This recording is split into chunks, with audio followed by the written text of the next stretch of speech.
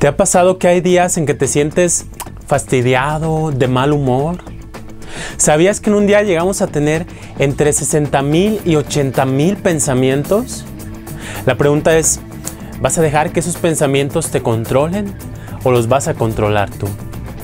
Hola, soy Víctor Toscano, estoy muy emocionado de estar nuevamente en este video contigo y el día de hoy te voy a hablar del poder del pensamiento, especialmente el pensamiento positivo. Los pensamientos tienen un gran poder, un poder que muchos ignoran. Si tú mantienes pensamientos negativos, tu estado de ánimo va a bajar. Y si repites esto todos los días, esto puede llegar a terminar por arruinar tu vida. Por ejemplo, imagina que te levantas a las 6 de la mañana, abres la ventana, ves el sol, te sientes bien, te sientes normal. Entonces sales rumbo al trabajo, en el camino enciendes la radio y resulta que están pasando noticias donde hablan de un asalto y un asesinato que ocurrió la noche anterior. Entonces te dices a ti mismo, pero qué barbaridad, qué inseguridad se siente, se está viviendo en la ciudad en estos días.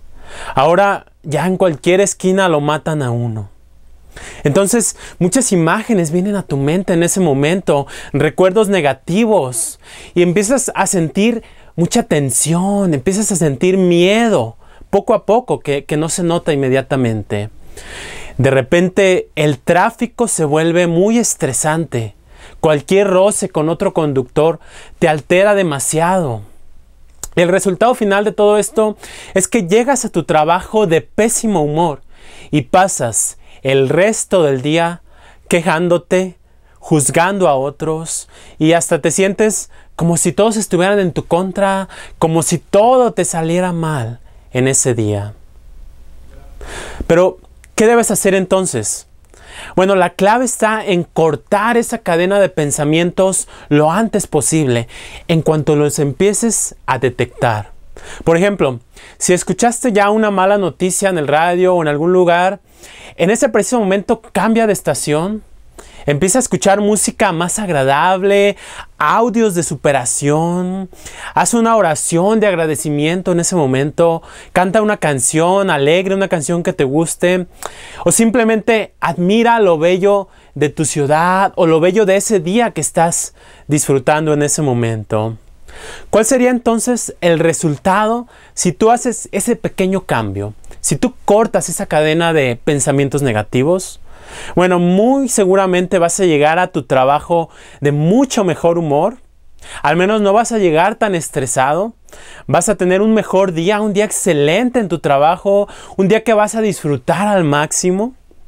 Ahora, ¿qué pasaría si repites este patrón todos los días, suponiendo que lo haces durante seis meses de tu vida?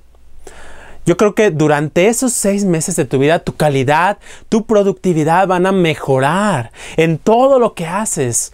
Vas a desarrollar una, una, una, mejor actitud, vas a lograr buenas relaciones con tu jefe, con tus compañeros y probablemente hasta vas a recibir un ascenso o al menos encontrarás alguna nueva oportunidad de trabajo. Y todo en tu vida va a mejorar, no solamente en el ámbito profesional, sino también tu vida personal y hasta eso se va a reflejar en la salud de tu cuerpo. Así que, ¿te das cuenta del inmenso poder que tiene el pensamiento? Tus pensamientos determinan tu vida. Así que a partir de hoy quiero que tomes la decisión de controlarlos tú. ¿Y cómo lo puedes hacer?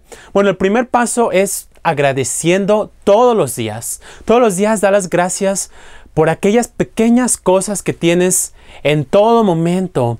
Sobre todo por la mañana al levantarte, da gracias por el aire que respiras, el agua, el techo que te cubrió durante toda la noche, los árboles, tu trabajo, tu transporte, tus amigos, tu familia, todo aquello que venga a tu mente que sea una bendición y que te haga sentir feliz y agradecido.